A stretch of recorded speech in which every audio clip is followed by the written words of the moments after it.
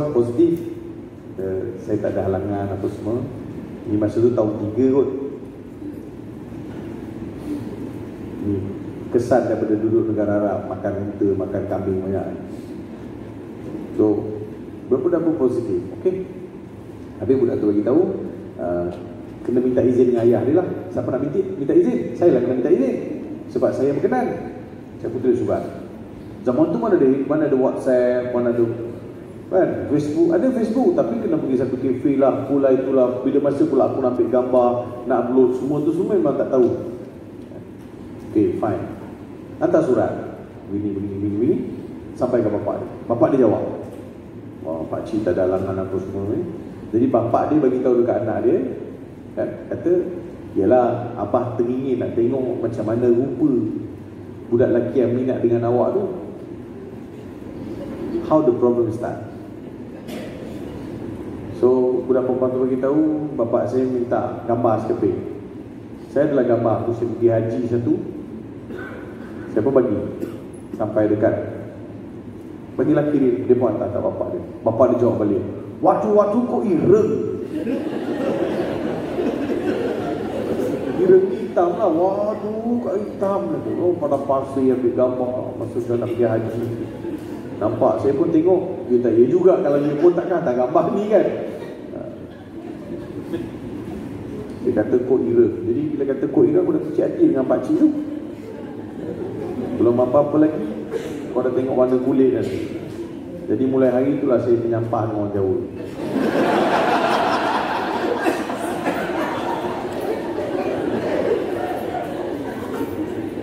How come you reject me because of colour, skin, my skin colour? Sekarang pakcik tu masa dia tak tahu kan Tuah ayam nampak di kaki dua orang mana tahu. Sekarang pakcik tu kata kalau tak dia lah menantu aku? Lepas tu bila saya cakap gitu ada pula orang jauh datang jumpa saya. Ustaz 3-0 lagi kan? Ah, Saya kata tak apalah aku tak nak dengan jauh Ada gurau lah. Dua-dua tak ada jawapannya kan? Tapi saya kawan ramai jauh Orang jauh bagus. Kawan in term of friendship Apa semua bagus. Tapi bab kahwin ni memang out Saya kahwin dengan orang Kelantan. Isteri saya orang Kelantan. Bapak mentua saya Cina. Mak mentua saya Melayu. So kahwin dengan saya. I'm Indian convert. So anak-anak saya satu Malaysia. Saya kata Wah sembang aja lah satu Malaysia. Aku buat lama lah. Anak saya Melayu ada, Cina ada, India ada. Tiga-tiga Baru ni balik di Bawali Makan muruku, makan apa tosik Lain Cina pula makan kuih bulan dan sebagainya Sebab bapak mentua saya Cina. So adik-beradik bapak mentua saya ada empat orang, tiga orang dah balik ke tanah besar Cina. Baru ni dia datang ziarah. Ziarah datang ziarah ke rumah Cina-Cina Ada rumah ni. Dia tanya seorang-seorang Siapa nama, siapa nama. Rumah bapak mentua saya dia Soyong Muhammad Soyong Cikgu kat Kelantan tu Dekat sekolah menengah sains petera Kot ada orang belajar sains petera dulu Cikgu Muhammad Soyong. So uh, Dia namakan anak-anak ni semua ada So Tapi dia sebut Su lah. Suziana, Sufizan, Sukimin, Sufila, Suhairi, Sufyudin So bila orang Cina datang Orang Cina datang Bagi tahu dia tanya ni nama apa? Suziana. Susiana. Ini Suki Ming Suki Zan Masuk Cina tu Tapi anak-anak saya Saya tak bumbu apa-apa lah Biasa ya. Nama Asmat Nabila Fatih Musna Paris So Nama simple-simple aja lah. Tak ada lah Ada Su Tak ada pula ada nama Gabungan. Cuma nak beritahu Bilal bin Rabah ni Orangnya hebat. Sebab Nabi SAW telah mendengar bunyi terompah kasut. Terompah Bilal dalam syurga. Masa Nabi pergi Isra Mi'raj, Nabi dengar bunyi terompah terompah Bilal. Balik Nabi Muhammad turun ke bumi, Nabi tanya dekat Bilal. Pada saat Nabi tanya, "Wahai Bilal, masa aku pergi Isra Mi'raj, aku dengar suara terompah kau. Apa amalan kau wahai Bilal?" Bilal kata, "Tak ada apa wahai Rasulullah. Tak mesti ada apa-apa amalan. Kau bagi apa amalan kau?" Saya hanya menjaga solat sunat dua rakaat setiap kali sambil wudu. Maksudnya solat sunat, wudu dua rakaat saya jaga Rasulullah. So, Itu pun boleh menyebabkan Bilal dinobatkan sebagai ahli syurga. Pengajarannya, apa saja kita buat, dia kena ada konsisten. Kena konsisten. Buat konsisten. Sikit pun kena konsisten. Kita tak mau banyak gedebak gedebu sekali, banyak buat lepas tu 3 bulan off. Kita tak mau. Islam nak maqalla wa adalla. Maksud maqalla wa adama. Benda yang sikit tetapi kekal. Mau better daripada kita longok semua satu hari Lepas tu tiga hari tak buat Tiga minggu tak buat Tak mau. Hari ni kita baca Quran Ada masa rasa iman bertambah hari ni Baca, baca, baca, baca Alhamdulillah dua juzu dapat baca. Besok tak baca, lusa tak baca, tulat tak baca. Minggu depan, dua minggu kemudian Baru nak baca. Tak boleh begitu. Dia mesti benda tu kita buat sikit Tapi ke kekal. Sebab tu Bilal sebut Aku jaga solat sunat untuk dua rakaat kita jarang jaga dah solat sunat mana kita jaga solat sunat dua solat sunat wuduk dua rakaat. Kita biasa ambil wuduk masuk masjid atau ambil wuduk kita ambil sejadah kita petang kita solat terus. Betul kan? Semalam saya dah baca satu buku. Buku ni uh, saya ambil daripada Uttar Pradesh. Saya pergi India dulu. Saya pergi ke uh, Azam Gra. Saya punya kajian mengenai seorang tokoh tokoh pemikir Islam dalam bidang tafsir daripada India, Uttar Pradesh. Daripada KL saya fly pergi ke New Delhi Daripada New Delhi saya pergi ke Azamgra Saya pergi ke Banaras. Sampai di Banaras Daripada Banaras turun airport Banaras Saya naik kereta pula 4 jam Pergi ke kampung Azamgra ni Sarai ni Bila sampai dekat Banaras Saya hantar teks kat kakak saya. Saya dah sampai dekat Kakak saya tak Islam lah. Saya kata saya dah sampai dekat Banaras ni. Kakak saya kata Kat situ ada sungai Ganges kan Saya kata ya. Saya pun pergi kat sungai Ganges tu Ambil gambar hantar dekat dia Saya buat live pula. Dia kata mandi mandi mandi. Mandi mana kak? Mandi kat sungai Ganges tu. Saya kata kenapa? Kau mandilah buang sial Mandi. Saya kata kak Kalau saya mandi tak buang sial Saya balik berkurap kak. Saya kata. Dan tak baik cakap macam tu Kau nak mandi sungai Ganges. Bagi mereka sungai Ganges ni Suci lah kan Bagi diorang nak pergi buat Macam umrah dia orang lah. Kalau dia pergi umrah dia pergi situ biasanya. Jadi saya tak sanggup lah nak mandi. Tak pergi jibu nak mandi ke situ pula. Tak pasal-pasal kan. Kalau kok jernih lah lah juga aku mandi kan. Tapi kena ada kawan lah. Tiba-tiba nak mandi takkan mandi bercawak situ. Dah mudah jadi. Kau boleh boleh tengok orang ambil gambar ke apa kan? Apa hal Ustaz Farid ni kan? Jauh-jauh pergi mandi pergi pula ke kampung halaman uh, Syekh Abdul Hamid Al-Farahi banyak karya-karya yang saya dia yang saya kumpul. Itu bunyi time tadi tu masih ada cukup. Oh, itu maksud terus teruskan. Aku bunyi ting ah tu. Kalau kita debat, kita tilawah bunyi je tu kan. Jadi kena bunyi. Jadi tuan-tuan yang perempuan yang saya kasih sekalian Dalam buku yang saya baca buku karangan beliau Beliau kata begini. Saya sebut solat sunat dua rakaat kan? Dia kata solat siang ada sepuluh rakaat. Solat siang ada sepuluh rakaat. Subuh dua Asar empat Zuhur empat Asar empat. Jadi berapa? Sepuluh. Solat malam? Tujuh kan? Maghrib tiga Isyak Isyak empat. Sepatutnya dia kata Siang sepuluh Malam sepuluh. Baru balance Eh balance macam mana? Sekarang ni boleh solat tak balance Sebab sepuluh ini Allah selalu sebut dalam Al-Quran Tilka asyaratun kamilah Wa atmamna bi asyarah Jadi sepuluh Lafaz sepuluh ni banyak kali Allah sebut Jadi Allah suka nombor sepuluh Dan dia melihat bahawa Kalau solat siang sepuluh Maka solat malam juga dalam se sepuluh Eh tiga lagi nak cari mana? Itulah tiga lagi itu Witir Sebab itu masa Abu Hanifah dia kata witir ni wajib.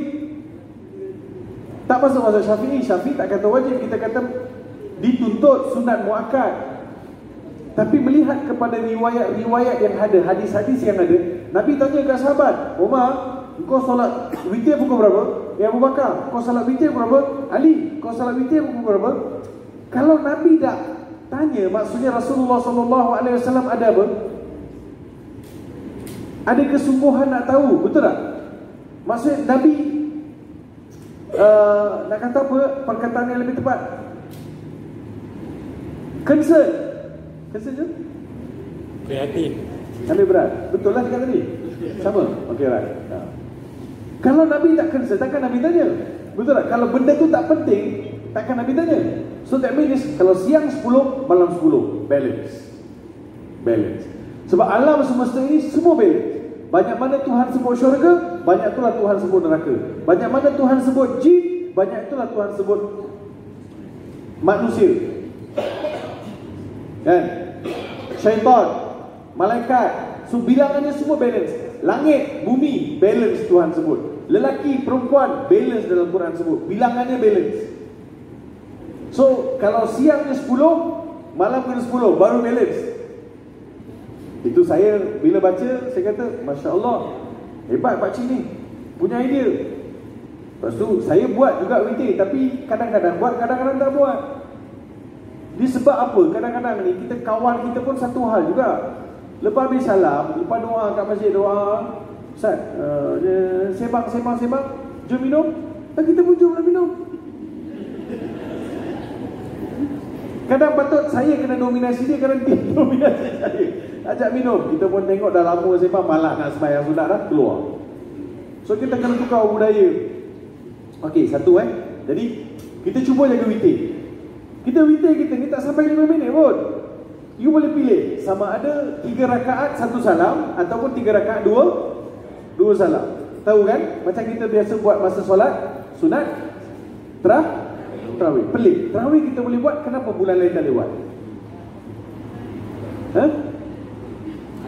Kita macam yalah malas lah. Jawapan betul malas. Bukan ketika tak nak rebut tapi malas, malas, malas. Bagi penyakit malas. Bagi penyakit malas. Ha, bagi penyakit malas. So kita kena ubat malas tu Kita kena ubat So bila saya baca saya kata Masya Allah Tak boleh tinggal lah solat sunat bidik Supaya nak balance Nak balance satu Keduanya Dia buat kiraan Solat-solat sunat Sebelum subuh Sebelum masa Eh sebelum subuh ada solat sunat Sebelum zuhur ada solat sunat Selepas zuhur. Yang dipanggil Solat sunat Apa ni uh, Apa dia panggil? Rawatib. Solat sunat rawatib. Sebelum selepas sebelum subuh selepas subuh tak ada kan? Sebelum zuhur selepas zuhur. Sebelum asar selepas asar tak ada. Sebelum maghrib selepas maghrib. Sebelum isyak selepas isyak. Malam tahajud 6 rakaat campur dengan witir 3 keseluruhan solat kita setiap hari dia akan capai 50 rakaat Jadi ngam-ngam 50 rakaat itu seperti mana Tuhan perintahkan kali pertama solat yang difardukan 50 50 waktu. Cuno. Kalau boleh buat. Sunat je. Macam mana? Kata nak ikut Nabi bila kita sebut Nabi buat sunat je. Tapi kenapa nak ikut siapa? Sebab kita punya takrif sunat tu apa yang Nabi buat kalau kita buat sunat dapat pahala su sunat. Apa tak ada sunat?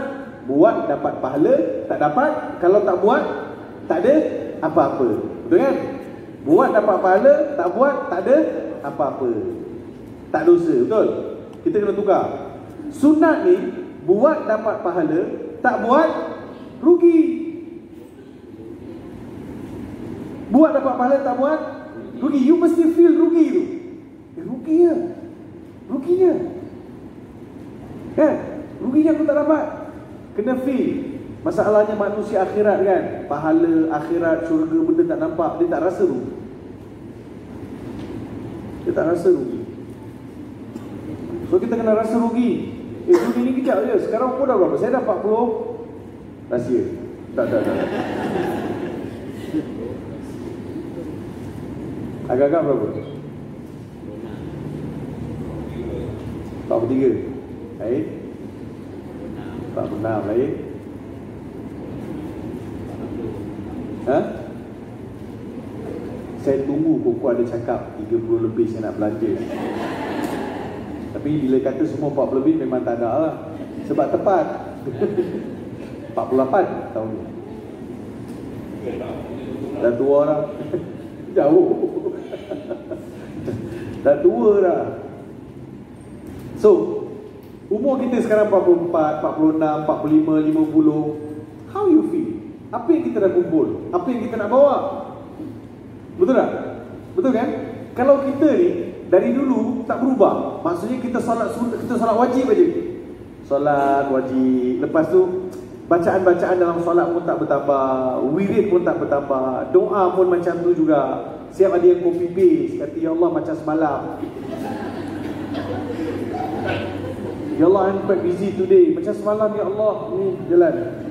Kau pakai copy paste mana boleh? Dia tak ada masa dengan Allah Subhanahu Wa Taala. 24 jam Allah perhatikan Allah. Allah perhatikan kita. Eh Kak Jah, Kak Su, Kak Ngah, Kak Ti. 24 hours Allah make sure you punya nadi berdenyut mengikut ketetapan. Urat saraf dalam badan itu semua aktif. Mata kerdepan mata, tak pernah mata tak berkedip. Ada kawan saya dia kena satu penyakit yang jatuh sebelah. Apa dia kata? Apa dia kata? Emosi. Ha, facial posi. Yang jatuh ni kan sebelah ni kan? Ha, facial posi. Dia kata bila nampak jatuh kiri ni, kiri kanan. Kanan jatuh, sebenarnya yang tak function kiri. Ini jatuh, yang ni boleh berkedip. Tapi yang kanan tak boleh berkedip. Saya pun tak tahu kawan saya kena apa ni. Saya duduk sembang dengan dia. Saya kata Masya Allah. Sampai saat, mat, habis mata kiri tak berkedip bang. Tak berkedip dia Yang ni dia berkedip. Yang ni hilang conscious. Tak berkedip. So malam tidur, dia kata malam dia kena tak seletik. Tarik letak seletik. Mana boleh tidur terdedah mata sebelah tutup? Kesianlah. Terdedah kepada infection pula nanti kan. Ada kuman, ada benda-benda masuk. So dia kena tutup. Dia letak seletip. Ya Allah. Itu pun kalau Tuhan tarik. Hilang stabil. You terdedah dengan pelbagai kemudaratan. So, tengoklah kasih sayang Allah Subhanahu Wa Taala dan tengok pula apa yang saya boleh buat. Sebab itu Nabi sebut Allah Taala ni cukup sayang, cukup suka bila seseorang itu mendekatkan diri dia dengan Allah dengan amalan sunat. Yang wajib saya kena buat, tak buat saya berdosa. Betul kan? Tapi yang sunat saya buat sebab saya suka. Saya sayang Allah. Saya nak Allah lihat saya dengan amalan-amalan ini sebab saya buat kerana Allah beri saya peluang untuk mendekatkan diri kepada Allah dengan amalan-amalan sunat yang lain. Bang, tolonglah bang. Yang muda-muda lagi kan. Kita masih ada masa. Kita dapat mesej-mesej sebegini. Sepatutnya kita terima. InsyaAllah Ustaz. Saya berazam Ustaz. Saya nak cuba jaga. Jangan hari ni je. Tak apalah. Kita buat checklist. Kita buat checklist. Ada tak Tuhan kurangkan nikmat pada kita? Tak ada. Gaji bertambah, umur bertambah. Dulu rumah flat, sekarang ada rumah banglo. High-tech bayar banyak? Amin. Amin. Tengok tiga empat orang ada amin. Tunggulah dapat projek besar-besar lagi. Amin. Amin. Sebab itu, kita bila bekerja dekat satu company, kita mengharapkan sesuatu yang besar, itu untuk kita kerja keras, kita nak kerja keras kan? tapi kita lupa ada Tuhan yang akan bantu. So apa kata kita hidupkan suasana solat sunat duha, solat sunat, ni, solat fardu, berjemaah. So tuan-tuan buat, setahun lagi tuan-tuan cerita dengan saya. Staff kat company ni yang ada masa solat sunat dua rakaat, dua rakaat. Kemudian solat solat fardu, zuhur dengan asar, buat berjemaah. Manajemen turun. Jangan nak buah je buat, manajemen tak turun. Tak boleh. Kepimpinan melalui teladan. So bos turun, anak murid akan anak buah akan turun. Bila bos keluar, tengok pagi ni bos datang. Mana bos pun datang. Cuba bos hilang.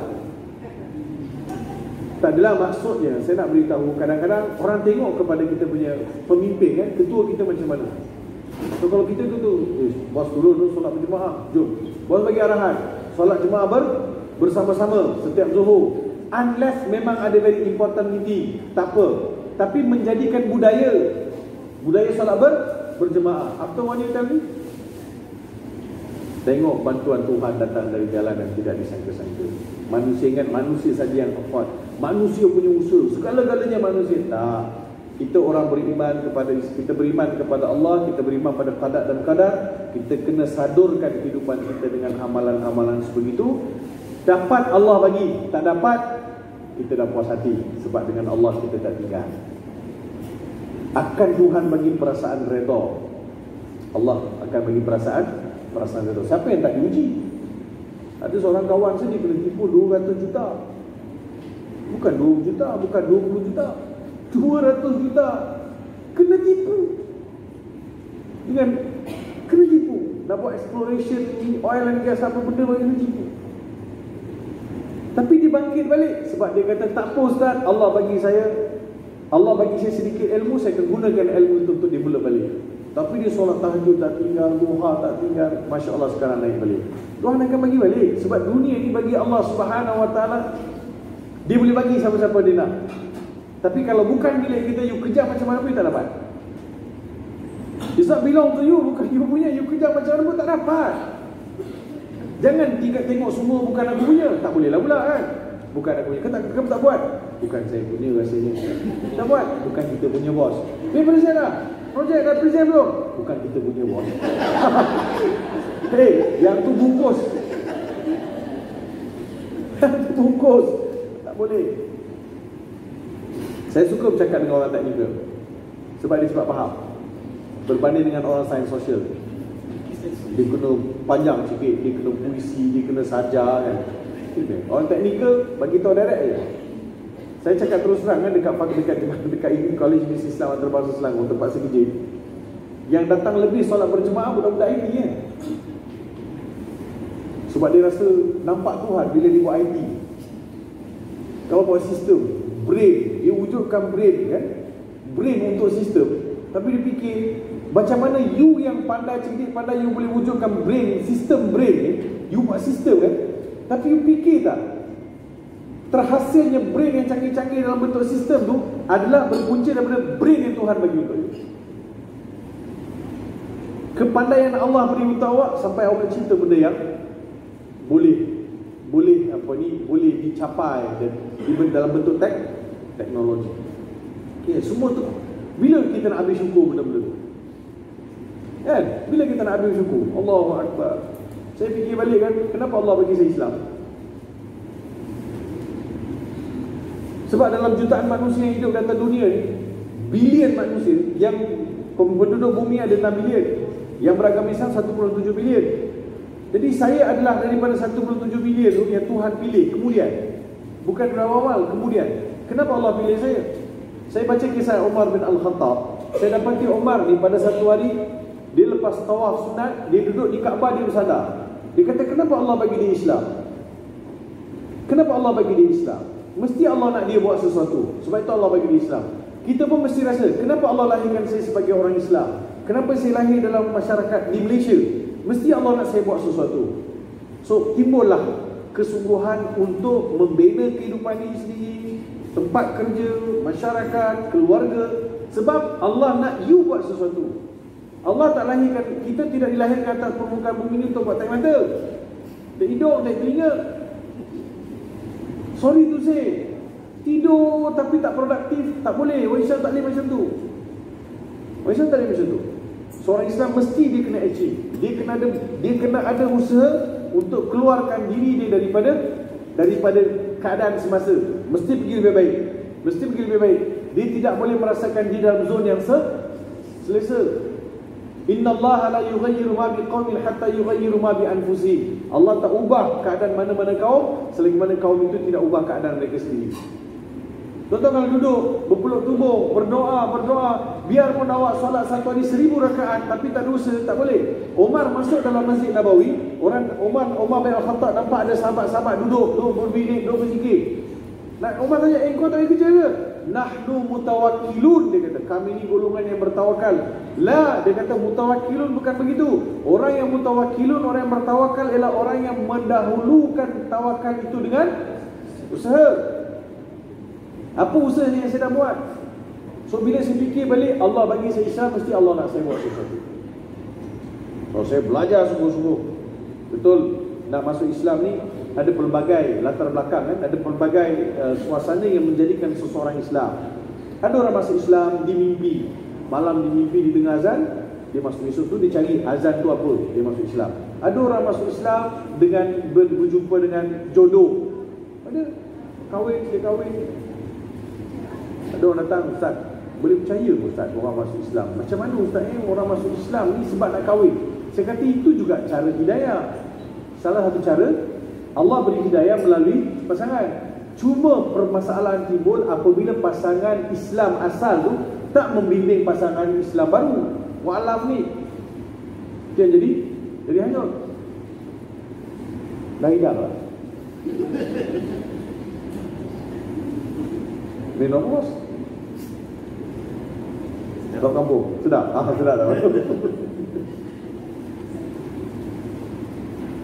Saya lahir di Sungai Curawang, Ulu Selangor. Kampung. Memang kampung. Macam mana kami boleh pergi kampung? Saya tanya mak saya. Mak, macam mana kita boleh datang kampung ni? Mak saya kata, kita asal orang Kuala Ketil, Kedah. Mak saya orang Kedah. Kami orang Kedah. Asal saya orang Kedah. Tukar pula dah senang Kedah. Tukar pula cakap Kedah. Asal orang Kedah mak saya. Estate uh, ayah saya dia bela kambing. kambing. Setiap bulan ada je kambing dengan curi. Kena curi, kena curi, kena curi. Dia sabar, sabar, sabar. Tapi mak saya kata, ayah saya ni memang tangan dia menjadilah bela kambing. Memang cepat membiak. Betul? Cepat membiak. Eh, kambing jantan ni satu hari boleh mengawal 70 kali tu. Ya, ya. Akak tanya lagi tak? Ya. Akak boleh tanya ya ke? Tanya pula. Saya ingatkan tak ada tanya dah. Satu soalan soalan. Ya, ah, ya kak. Dua kali sebab itu orang kata kambing ni dia panas sikit kan.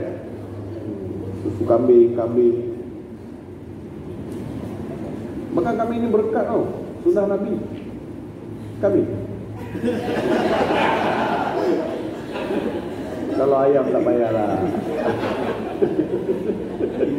ha, kita sambut maulud Nabi makan ayam la ilaha illallah. Mana sih?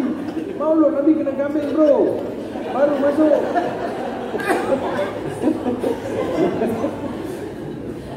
kan Nabi mana makan? Nabi dia makan kot ayam tapi Nabi biasa makan kambing. Kan? Tahun depan request kambing. Maulud Nabi kambing. Mari kau sunah kalau boleh unta. Eh dulu orang like perempuan jarang makan kambing tau. Dia kata bau lah, apalah, pening lah. Sekarang dia dulu habis. Ha, dia dah tahu fadilat kan. Ha. Habis. Jadi apa sebab sebut kambing? Bapak saya boleh kambing. So ada sekali tu orang curi satu satu kandang. Bawa lori angkut semua kambing-kambing ni. Marah betul bapak saya. Bapak saya tak nak duduk dalam sikit. Merajuk dia. Dia bawa anak isteri semua berhijrah. Saya kata ialah berhijrah kenapa pergi kampung Melayu? Dia kata sebab dia pergi kampung Melayu dia kata dia nak bela kambing balik kat sini tak ada orang curi dia Tapi indah kabar dia rumput. Masuk kampung Melayu kena curi juga kambing dia kata curi juga. Ah, curi juga bapak saya kata tak apalah biarlah curi lah macam mana. Tapi taklah sehebat curi dekat estate tu satu lori satu kandang kena angkut. Tapi itulah dulu sejarah dulu di kampung tu. Lahir, saya lahir di kampung, ayah saya meninggal. Empat bulan saya dalam perut ibu, ayah meninggal. So saya lahir, saya anak yatim lah. Kalau saya anak yatim kan, bapak dah meninggal, mak dia? Yatim, okay, saya dibesarkan oleh ibu saya lah. Ibu saya nak besarkan saya, saya duduk kampung Sungai Chow So masa sekolah rendah, saya masuk kelas pendidikan Islam. Asalnya saya tak masuk, saya hati dua jadi tak masuk. Tapi masa darjah 4, kawan-kawan saya kata, Eh Rawi, kenapa bila ustazah masuk kau keluar? Sebab zaman tu tak ada pendidikan CV. So pendidikan Islam yang tak Islam biasa keluar kelas, duduk dekat library, duduk dekat kantin, suka duduk kantin lah. Jadi kawan saya, sebab saya budak kampung, so kawan-kawan kampung saya panggil saya kata, "Eh Rabi, kenapa ustazah masuk kau keluar?" Eh saya nak buat apa ustazah masuk dalam kelas? Ustazah mengajar subjek pendidikan Islam, saya bukan Islam, saya nak buat apa? Duduk aje lah dengar. Kalau saya duduk aja, ustazah marah macam mana? Kan? Kawan saya kata, kau mana tahu kau tak duduk lagi? Pandai. Pandai. Pandai. Monitor juga. Kau duduk dulu. Okey, saya pun duduklah sekali Ustazah masuk. Ketua kelas bagi salam. Assalamualaikum Ustazah. Satu kelas bagi salam. Assalamualaikum Ustazah. So, Ustazah kata, Waalaikumsalam. Murid-murid duduk. Duduk. Semua duduk. Saya pun duduk. Duduk ni duduk, duduk, duduk ni. First time masuk dalam diri Islam. Budak, budak, budak, budak. Tak tahu apa pula. Kok dia nampak kita kata, eh, Tambi lu apa bikin? Takut juga kan, kena marah kan. Budak, budak, budak, budak. Saya duduk tu, saya duduk. Bawa, bawa, bawa, bawa, bawa. Kalau boleh nak masuk bawah meja lagi. Tak boleh dah. Kita ni macam nak menyuruh. Senang cap kan. Ramai-ramai seorang. Tak boleh menyuruh. Ha. Eh, tuan-tuan. Tahu tak mana Adam? Adam. Adam maksud dalam bahasa Arab dipanggil Adam bermakna asma. Makna Adam ialah asma, iaitu hitam manis. Adam maksudnya hitam manis. So saya ni kalah Adam. What is your problem? Kalau nak tengok Adam, tengok saya.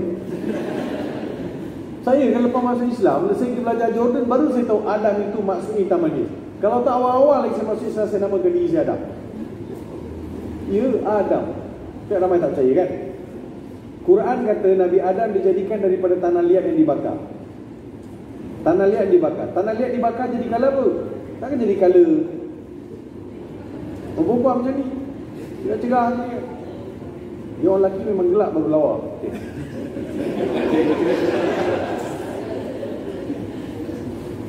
Saya pun tak faham kenapa orang suka dengan K-pop, K-pop. Cerah-cerah lah, lawa, cerah lah, lawa.